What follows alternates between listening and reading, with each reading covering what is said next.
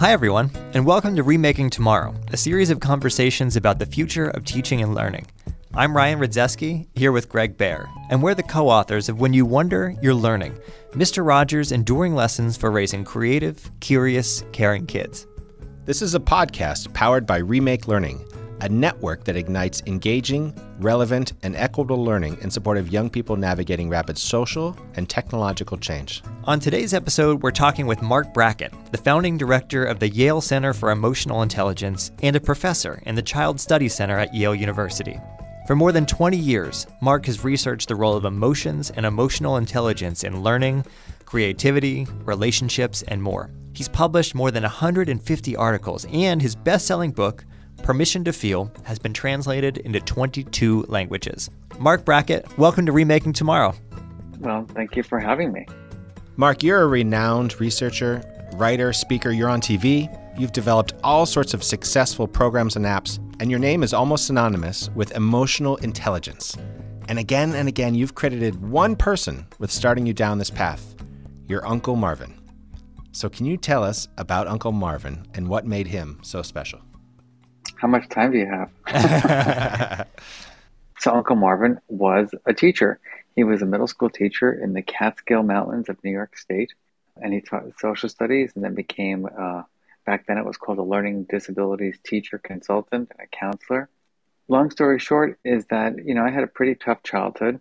I had two parents who loved me a lot, but I would say neither one of them went to the school of emotional intelligence. And, you know, it wasn't easy to deal with my parents, nor did they really know how to deal with me. And so Uncle Marvin happened to come in my life when I was around 11 years old and suffering a lot. As you know from the title of my book, Permission to Feel, I'm convinced that my uncle was the only adult in my life who gave me that permission to feel. Your work with your uncle eventually formed the beginnings of Ruler, which is an approach to social emotional learning that's since reached more than 4 million students. Marc, first of all, can you tell us what Ruler is? It's an acronym. What does it stand for? So let me just go back a little bit about Uncle Marvin. So, sure. You know, when I was 13 years old or 12 years old, Uncle Marvin happened to stay with us because he was getting his master's degree. And he was writing lessons back then in the 1970s and 80s around how to teach kids about feelings. He literally rewrote the entire social studies curriculum to be about emotions. And so that all the characters in every chapter, he would say, oh, what did this character feel? And why do you think they felt that way? And how does that relate to you? And it was remarkable what he was doing. By the way, he got a lot of pushback even then. But for me, it was pretty interesting because we'd have these really rich conversations when I was a teenager about the word alienation and the word connected and the word despair and elation. I learned all these feeling words. Fast forward 10 years, I'm trying to figure out what I'm going to do with my life, decide to get my PhD in psychology, studying something around feelings. And there's books out on emotional intelligence. I happen to find these two people, Peter Salovey and Jack Mayer, who were the founders of the theory, wrote to both of them and had lunch with both of them, got rejected at Yale, where I'm now a professor, and uh, went for my PhD with Jack Mayer at the University of New Hampshire. And it was interesting because Uncle Marvin was not a, a scientist, he was a practitioner. But yet, every one of his ideas was starting to be tested scientifically by researchers like Peter and Jack. And so now the question is so, how do you operationalize this concept of emotional intelligence? Well, over the years, I've created this acronym, which I call RULER, which is recognizing emotions in oneself and other, understanding where those feelings come from and their consequences, labeling those feelings with precise words, knowing how and when to express emotions across context and culture, and then the big one, which is how do you deal with those feelings? Emotion regulation. And Marc, you've said that among these, that L, labeling, is the one we have the most trouble with. Why is that? As a matter of fact, I've come to the conclusion that we have trouble with all of them. uh, labeling is like the pathway to begin to build that self awareness. And I just find it fascinating that most people just don't really know how they're feeling. And, you know, we, we go around saying fine, good, okay, meh, ugh, you're not even using words. And then when you push people, well, what are you really feeling? They're like, I'm not sure. Or they say happy. Even when I test people on their emotion knowledge, you know, give them, for example, I'll ask you guys, you know, what's the psychological difference between anxiety, stress, and pressure and fear? I won't push you to do that right now. but I've done this with CEOs of big companies. I've done this with leaders of schools. I was just in a school district last week with about 500 educators. No one got it right. And so it just goes to show us that people have not been taught words to describe their feelings. And you and your colleagues, Marc, have come up with some pretty amazing ways to help folks with that labeling and with the other letters as well. Mm-hmm. Can you tell us about the How We Feel app? What is that and what does it do?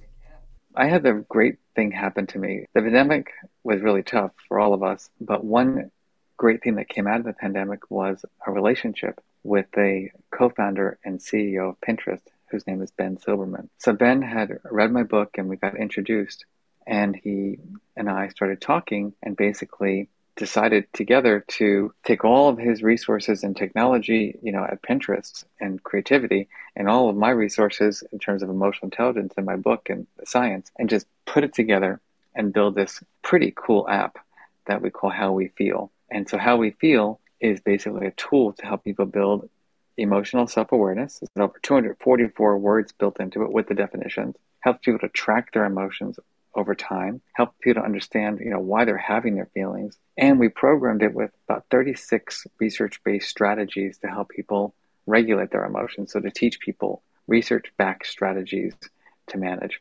And uh, we've had a lot of success. We've had hundreds of thousands of people download it and use it. And uh, we're just extraordinarily excited about it. And it's free, 100% free forever. It's spectacular. And I can imagine how an individual interacts with that. And we're curious how a community interacts with the ruler acronym and the work that you do. You mentioned a moment ago that you were in a school district. So we imagine that you're with teachers, maybe with families of the kids in that school district. So how does ruler work in practice? So ruler is it's a work in progress. We now have 5,000 schools across the world using ruler, which is remarkable because it started in one classroom in upstate New York. And my uncle's no longer with me, but I know that he's beaming, you know, with joy because what he started has now really taken off. I think it's important to put this in context. So, Ruler started as a classroom program where a sixth grade teacher was teaching kids about feelings. And I was a kid who was struggling, and my uncle taught me these words, and we had a great relationship, and it helped me out a lot. And so, when I got older and I was deciding what to do with my life, I said, let's take everything you did, Uncle Marvin, in the classroom, and let me marry it with the research that I know that I'm learning about in emotional intelligence and we'll pull it together and we're going to get it out to the world. And we did do that, except we failed horrifically. we failed because we were expecting people to just implement this with quality and fidelity. And what we found was that adults who were raising and teaching children just didn't have an emotion education. And it wasn't that they were bad people, they're great people, they're caring people. They just didn't have background in emotions. They didn't understand them, they didn't have the language, they didn't know the research based strategies. So we had to go back to the drawing board and really work on the training and curricula for the adults. And so it started with teachers and educators and counselors. Then we realized we got to get the principals on the bus. And then we really got to get the superintendent on the bus. And then eventually we realized families needed to be involved. And so Ruler today is what we call a systemic approach to social and emotional learning, whereby we infuse the mindsets and principles, the skills and tools of emotional intelligence into what I like to call the immune system of a district. So leaders, teachers, students, and families, everybody who works in the system gets to be educated in these concepts. And we have pretty good research to show that it makes a difference. This is Ryan Rydzewski here with Gregg Behr. We're talking with Marc Brackett, the founding director of the Yale Center for Emotional Intelligence and the author of Permission to Feel Unlock the Power of Emotions to Help Yourself and Your Children Thrive. Marc, you've said that there are no bad emotions, that rather all emotions are information. And that is a philosophy that echoes someone who's very important to Greg and I, and that's Fred Rogers. He too made space for all of the big emotions that kids and their families had. And I'm curious, what does it mean to think about emotions as information rather than as things that are good or bad in and of themselves? How can reframing them in that way be helpful? You know, it's really interesting you asked that question because I know that you work with a lot of educators and parents. And so I'm going to share a little story about this. Just a couple weeks ago, I'm on the phone with a principal of a school who had trained students in the school to be ruler ambassadors, meaning they were the co teachers of this work, which is really kind of cool. And at the end of the year, she interviewed them to ask them, like, what was their biggest takeaway? And she thought it was going to be one of our tools, like the meta moment, which is our tool to help people manage their feelings or something like that. And they said, no, our biggest takeaway was there's no such thing as a bad emotion. And she said, well, tell me more. The kid said, well, we're always like on our mood meter, if we're in the red, we're anxious or angry, we're always told, like, get out of that red. That was what we were told previously. But now we're taught that emotions are information, that my anxiety is there for a reason, that I'm perceiving uncertainty, my anger is there for a reason. There's an actual injustice. And I was just blown away. These are elementary school students, by the way. Just the way they have kind of internalized these concepts. And I think for me, what's most important about that is that emotions are data, they're signals, right? They come unbidden. We're not, we don't ask for our feelings to come to us. You know, you're walking on the streets and someone says something to you, or you go to your office and you see something you don't want to see, or whatever it happens, you know, all of a sudden you're like, whoa, I didn't even know I had feelings. A lot of men, for example, they were like, you know, Marc, I didn't know I had feelings until the pandemic. I'm like, well, sometimes you know you got to get sand in your face. But the point is, we can use all of our emotions wisely. Anxiety is not a bad thing. It's saying there's uncertainty. So let's figure out how to manage our perceptions of that uncertainty. Anger is, some people call it a destructive emotion. I really don't like that. You know, when we feel angry, it's because we're perceiving injustice. That means people are treating us unfairly. So that's something to really talk about with people, a partner, a parent, a kid. It's something to problem solve about, not something to deny, ignore, suppress it's hard, Ryan, not to be thinking about Mr. Rogers as we're hearing Marc speak, right? And I'm I'm thinking about Mr. Rogers. What do you do with the mad that you feel? When you feel so mad you could bite, when the whole wide world seems oh so wrong, and nothing you do seems very right. And it, you know, it goes on from there. It's just this is so profoundly important what you're describing, Marc. And we've mentioned a few times this best-selling book that you've written entitled Permission to Feel. Can you give our listeners an idea more about that book and the sort of strategies that you provide for leveraging the powers of human emotion? You know, you asked me about emotional intelligence earlier, and I gave you the definition of, of these five skills. But one thing that I've learned in my career is that unless we shift people's mindsets about the value and importance of emotions, nobody's going to want to learn these skills. And I had this idea as I was writing my book because I give a lot of presentations to companies and school districts around the world. And I was giving this one speech, and there was a stereotypical, you know, tough guy in the audience at one of my talks. And he was not having my presentation. And at lunch, I went up to him and I said, you know, hey, how's it going? He looks at me and he's like, you know, the lunch looks pretty good. And um, I decided to make him my project. I'm like, I'm going to get this guy to buy into it, the principles of emotional intelligence. And so at the end of the training, I looked at him and I said, Hey, you, you know, what do you think now? And this guy, six foot something, stands up, looks around the room of 100 people, starts crying in front of everyone. And he goes, Marc, all I have to say is thank you for giving me permission to feel. And of course, I'm crying, everybody's crying. It was like one of those moments. But it was a real moment for this person because, you know, I learned from him that he grew up in a family where he was just toughen up, you know, no feelings. And he realized how critical it was to have the permission to feel. And so that's why I called my book that, which was not like popular. People were like, oh, that sounds too fluffy. And I'm like, you know what? If we don't give ourselves and everyone we care about, and even the people we don't care about, the permission to be their true, full feeling selves, we're not going to go anywhere in our society. So I believe that's the starting point. When the adults who are raising and teaching kids are non judgmental, they're exceptional listeners and they show empathy and compassion on a regular basis, that creates the context for kids and other people to have the permission to feel. Marc, you just mentioned you're speaking, and anybody who follows you on social media knows you are on the road all the time talking with educators and all sorts of folks about the importance of emotional intelligence. And I want to ask you about the fact that you are doing this at a particularly interesting time because, on one hand, the evidence for what's been called emotional intelligence, and on a related note, social and emotional learning, that evidence is increasingly robust. And yet, on the other hand, social emotional learning has become something of a lightning rod in the culture wars that, of course, reach our schools. And I'm curious, uh, why do you think that is? And what might you say to parents or teachers who might be skeptical of emotional intelligence for all sorts of reasons? Yeah, I mean, it's unfortunate that I think some people misunderstand these concepts. The way I like to think about it is that we're trying to teach children real skills so they can navigate their lives and achieve their dreams. That's what it did for me. This is not a religion, it's not indoctrination. As a matter of fact, what's so important to the work that we do in particular is that children, for example, learn emotion management strategies that work best for them, given who they are, given their personalities, given their culture. We're not trying to ever tell someone how to feel or tell someone what to do with their feelings. What we want to do is give children and the adults who are raising and teaching them a lot of knowledge about emotions, a lot of skills for dealing with their feelings, and then let them be free to use that. You know, I'm very lucky to be honest. You know, when I present this work, I rarely get any pushback. And I think it's because I try to be really clear about what this is and what it isn't. You've recently posted that you've got a new book coming out. It's entitled Dealing with Feeling. So, what can you tell us about that project? I can tell you that I'm trying to deal with my feelings while writing that book. Um, I'm not kidding. I'm actually journaling.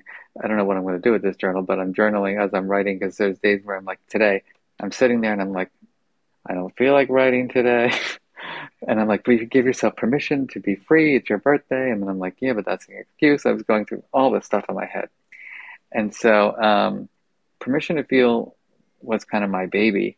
You know, it was my life's work up until, you know, I was 50 or so. And dealing with feeling is really what I learned people would write me these letters. They'd say, Marc, thank you for giving me permission to feel. It's been so helpful. But now, how do I deal with all these freaking feelings? and so this is like, it's not part two, but it is a deep dive into what does it mean to regulate? You know, and I talk about this in my first book, but not in as much detail. And I think the most important thing, going back to your question about the controversies around this, is that there's no correct way to regulate your feelings. Life is a journey of finding things that bring you contentment and things that help you deal with your stress. And what I want to do in this book is help people find the strategies that work best for them so they can have the life that they want to have. So, Marc, uh, we are going to finish up uh, on your birthday by doing a quick lightning round. So, I'm just going to ask you a couple of rapid fire questions, okay? All right, go for All it. All right. Question number one How are you feeling right now on your birthday? An odd mixture of contentment and who am I? Which is not a feeling. what is the most unique or maybe the most surprising emotion that you and your colleagues have identified? I'll tell you the one I like the most that I want to experience more, which is mudita, which is a word in Sanskrit that describes a sympathetic joy. Can you give us an example of when you might feel such a thing? Yeah, so like on a day like today when I'm like, who am I? I'll take a walk in the park and I'll see some kids playing and they'll be like laughing and having fun and I'm going to like kind of vicariously enjoy their joy. And so it's like kind of living through someone else's joy in the moment. I love that. The emotion that comes up most often in your martial arts practice, where you hold a fifth degree black belt. Oh, that's a good one because my brain goes right to the word focus, but that's not a feeling.